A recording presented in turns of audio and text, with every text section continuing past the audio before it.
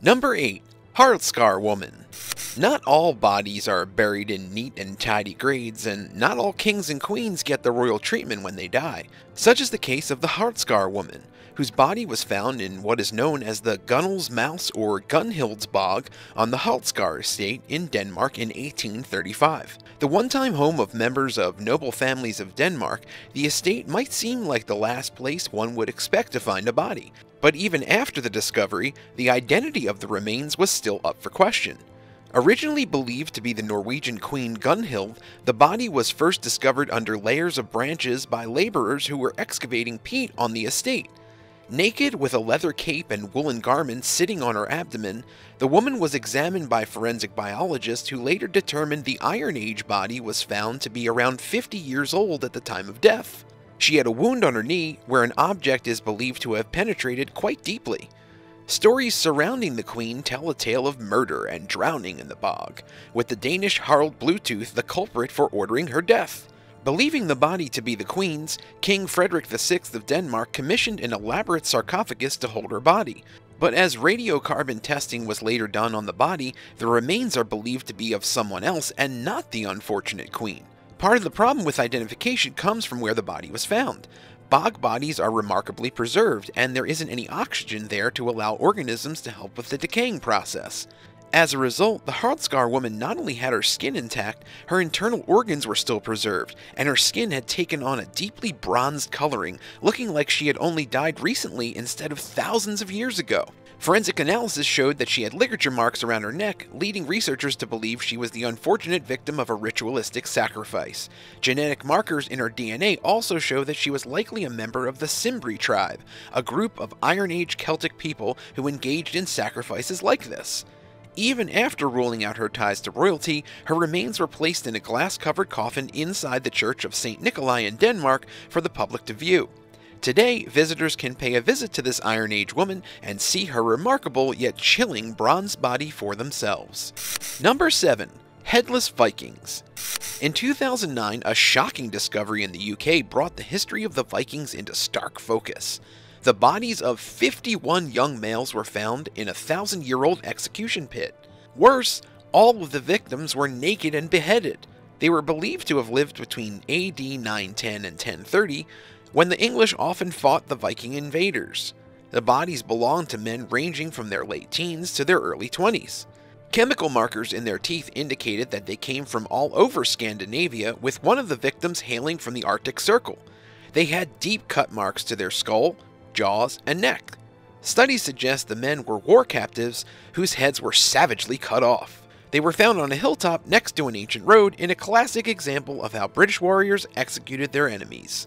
Researchers believe the raiding party may have left their ship to explore and came upon a well organized group of Saxons who kept them in prison until they met their unfortunate end. This is in stark contrast to the usual belief that the Vikings were the ones who pillaged, ransacked, and tortured their enemies. Although brutally slain, these 51 young males now identified and whose heads were neatly stacked to the side of the pit have given a glimpse into the savage ways of the past. Number 6. The Secrets of Skeleton Lake. The discovery of human remains is startling enough, but when hundreds of human skeletal remains were found in a lake deep in the Himalayas, experts were baffled. Located at Roopkund Lake, almost 17,000 feet above sea level, the bodies were believed to have been from victims of an ancient catastrophic event. Because the area has frequent rock slides, it has been difficult for researchers to study the bodies. Local pilgrims and hikers also frequent the area, and during their visits, they have been known to not only move the skeletons, but to also remove some of the artifacts located with them. Strange folklore of the area describes the mountain as the shrine of the goddess Nanda Devi. When a king and queen made a pilgrimage to the site, the goddess felt their celebratory behavior was inappropriate and struck them down. Other explanations for the bodies include them belonging to an army or group of merchants caught in a vicious storm, while another says they were the victims of an epidemic. After gaining access, scientists were able to study 38 of the skeletons and found that 23 are believed to have come from South Asia and 14 were from the Mediterranean. Radiocarbon dating found the remains are each from very different eras, with the South Asians from around 800 BC and the others dated around 1800 BC, refuting the catastrophic event theory as their origin. Either way, the area and its gruesome discovery still seem to have secrets that need to be uncovered. Would you hike at a place known to have skeletal remains? Let me know in the comments, and while you're at it, hit that thumbs up, and if you're a bored badger like me, click on the subscribe button too. Number 5. Tree Skeleton When a large beech tree fell during a storm in Ireland in 2015, no one expected the grisly discovery of a skeleton tangled in its roots. The macabre sight was not only a surprise, but its ties to the ancient past made the find that much more shocking. After bringing in a team of experts to excavate and analyze the remains, the Irish National Monument Service found the unfortunate victim trapped in the roots of the 215 year old tree died of violent death. With stab wounds in the upper chest and in the left hand, researchers could see the victim trying to defend himself against the brutal attack. Aged between 17 and 20 years old, the remains are believed to be between 900 and 1,000 years old. Whether he died as a result of a battle or a personal dispute is difficult to tell, but it's obvious proper care was taken to provide a Christian burial for the victim with his head pointing towards the west. Historical records show there was at one time a church and a graveyard in the area, but with neither visible today, it is believed that whoever planted the tree had no idea there were human remains beneath it. Purely coincidental, if not for the storm, this unknown young man may never have been unearthed. Number 4. Cannibal Neanderthals. If you thought life as a Neanderthal only meant worrying about where your next meal might come from, then think again. Evidence of cannibalism on the remains of a Neanderthal family found in Spain were definitely unexpected.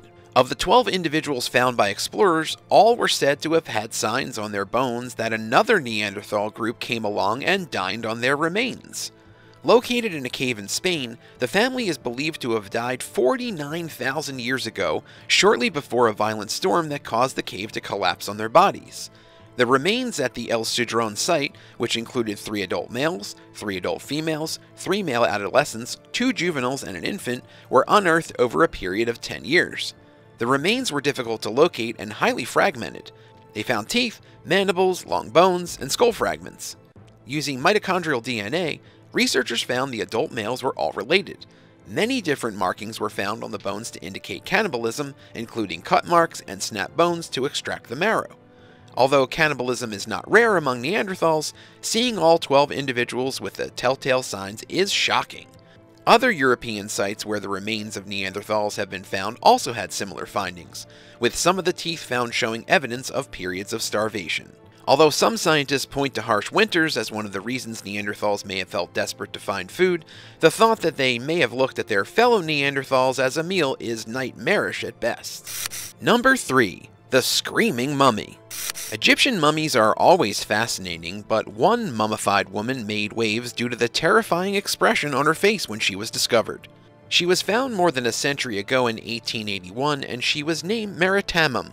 She was located in a tomb complex on the opposite side of the Nile from the ancient city of Luxor. Although there have been several princesses with the same name, archaeologists are not sure she was one of these royal daughters. And even though you might think that her chilling pose with her mouth propped open in a silent scream is terrifying, there was another mummy found at the same location with the same grisly expression. As researchers set out to determine her identity, they found that even though she was mummified well, and many of her organs removed, and her abdomen packed with resin and linen, unlike most mummifications, her brain had not been removed. But the most telling thing found in the examination was the fact that she had the signs of blockages in her blood vessels, which could have caused a heart attack that took her life. But why was she in such a strange state? Why was her mouth hanging open and her legs bent and crossed at the ankles? Researchers believe she died alone and was not found until rigor mortis had already set in, which meant the embalmers could not secure her jaw properly. Even though, quote, screaming mummies have indeed been found around the world, including ones in Peru, Mexico, and Sicily, Meritamun could possibly look that way because her wrappings were simply not tight enough to hold her mouth closed. There are no records of how the Egyptians exactly went about the mummification process, the secrets of their process remain much of a mystery. As for Meritamun, the fact that her brain was not removed led researchers to believe that she was mummified in the 17th century, which points to her identity as that of the daughter of Seqenenre II, not Ramses the Great, as some first believed. Number 2. Victims of Chemical Warfare In the 1920s and 30s, a French archaeologist excavated siege tunnels in the Syrian city of Dura, where Roman soldiers had gathered to defend. But as an army of Persians dug to undermine the city's mud brick walls, the Romans, thinking they were one upping their enemy, were met with a noxious cloud of black smoke that turned to acid in their lungs, killing them all. The attack is believed to have killed the men in 256 AD and is thought to be the first instance of chemical warfare. Although the Romans thought that they were being crafty by building these siege tunnels in an effort to cut off the Persians, who were tunneling underneath the walls of the Roman military bases, the Roman defenders ended up being choked out when the Persians set fire to the tunnels. Traces of sulfur and bitumen found in the tunnel suggest the fire came fast and hot, and the Romans never had the chance to escape. Later found stacked in a pile, the Romans fell victim to their own pride, believing that they had the advantage over the Persians, but as the tunnel cleared of its smoke, the Persians are believed to have piled the bodies together before they collapsed the tunnel on top of them, leaving the Romans with their coins, arms, and weapons untouched. It was a brutal find to say the least, after archaeologists finished their work excavating and examining the ancient bones, they later filled in the tunnels, leaving the skeletons where they were found, so further examination and the final report on whether chemical warfare was the cause of the Roman soldier deaths is still something of a theory. Number 1. Massive tumor. The skeleton of an unfortunate 17th century woman was discovered in the 1960s with a massive growth the size of a basketball on her lower jaw. Located about 30 miles from Charleston, the land once housed the settlement of Shawnee people. When a shallow grave of more than 500 skeletons was found by the West Virginia Geological and Economic Survey, researchers were understandably floored. But one particular skeleton caught their eye. A woman in her early 20s was located with a 10 by 10 inch sized tumor on her jaw, most commonly identified as bone cancer in teenagers and young adults, the rare bone tumor was analyzed, with researchers believing it would have been growing for many months, if not years. Weighing in at about 5 pounds, the tumor did not seem to have impacted her ability to eat. She was buried among the others of her tribe, and she didn't seem to have been treated any differently, even though the rare growth, normally found on the spine and not the jaw, would have most definitely been visible to those she lived with. Buried in shallow graves under the floors of their houses, the skeletons are now housed in the West Virginia Archaeological Society in Moundville. By looking at their ancient pathology, the stories of these skeletons and the tribe they belong to are no longer lost to history. They're now a place that honors their lives. Thanks for watching. What do you think of these bizarre skeletons discovered? Let me know in the comments below and don't forget to subscribe. See you next time on the Bored Badger.